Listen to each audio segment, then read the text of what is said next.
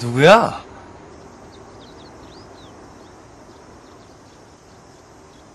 너 여전해 피아노 괴롭히는 건?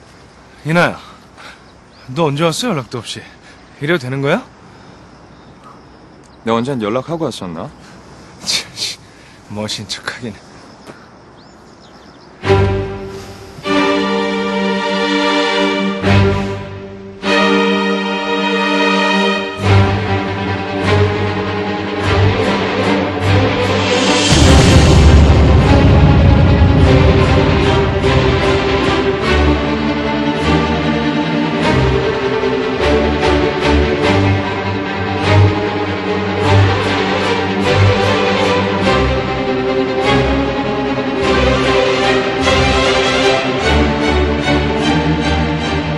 이제 보성악기가 아니라 보성그룹이 되는 거예요. 내가 반드시 그렇게 만들 거예요. 부산그룹의 새로운 주인을 찾으셔야죠.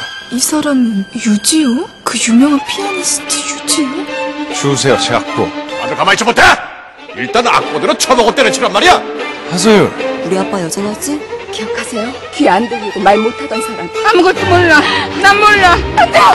그건 안 돼, 할머니! 이 세상 어느 천지에서 수 있겠어? 난 내쫓긴 놈인데? 난 그런 놈인데! 내가 왜 너를 구하지 않고 지옥을 구했는지 그 이유 말해줄까?